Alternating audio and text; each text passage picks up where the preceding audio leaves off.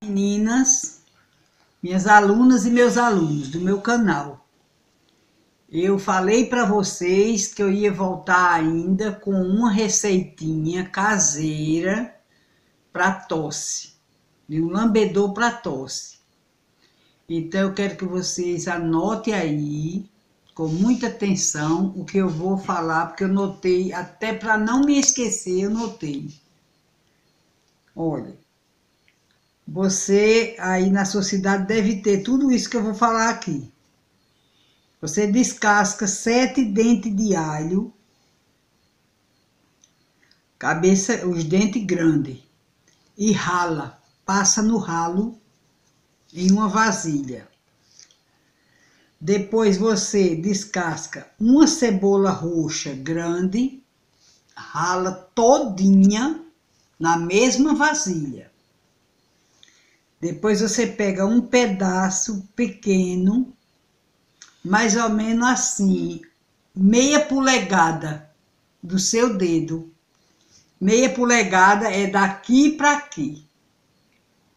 Então você rala gengibre, você rala a meia polegada de gengibre verde, o gengibre verde. Aquele gengibre bem novinho que você compra. Rala e coloca lá junto com a cebola roxa e o alho. Depois você corta dois limão, aquele limão verde que tem bastante água, bem novinho, aquele que a casca é brilhosa. Porque para você saber se o limão é bom, você tem que ver se a casca dele brilha. Aí você corta ele ao meio, espreme todinho o caldo no meio daqueles ingredientes que você já ralou. E após isso, você corta uma folha de colônia. Folha de colônia é umas, é umas folhas grandes assim, comprida.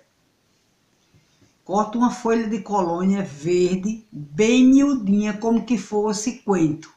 Corta, coloca em meio litro d'água dentro dessas coisas que você ralou e bota para ferver em fogo baixo, tapado com a tampa, para ele pegar bastante fusão. Quando ele ferver bastante, que ele cozinhar o alho, o gengibre e a cebola, você desliga o fogo, tira só as folhas da colônia, deixando os outros ingredientes.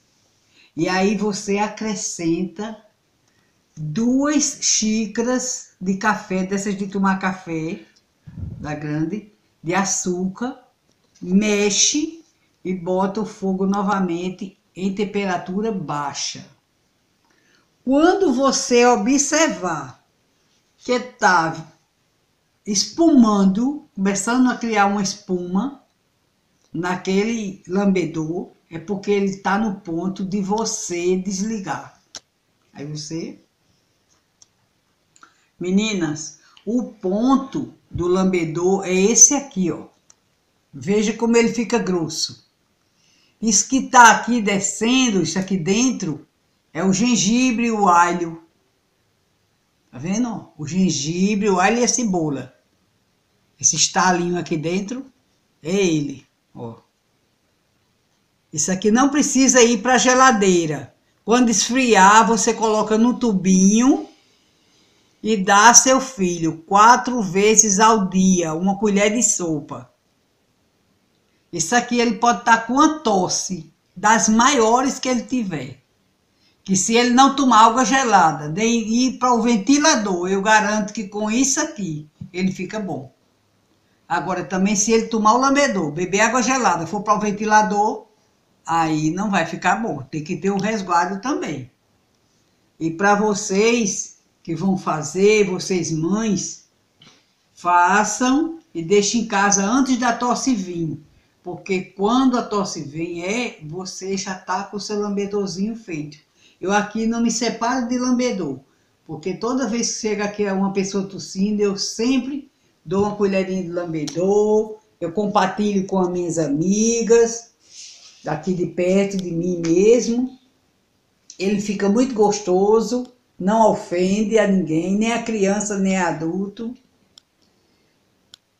Agora, para quem, para aquelas mães que têm uns filhos com rinite alérgica, o bom mesmo, a rinite alérgica, que é aquela que aperta mais pela parte da noite, dá cansaço, eu aconselho vocês dar seus filhos alho picado com mel de abelha italiana. Se aí na sua cidade tiver, na minha que tem, não sei aí.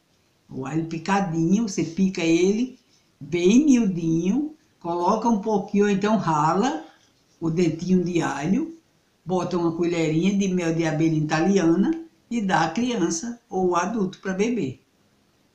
Para quem tem rinite alérgica.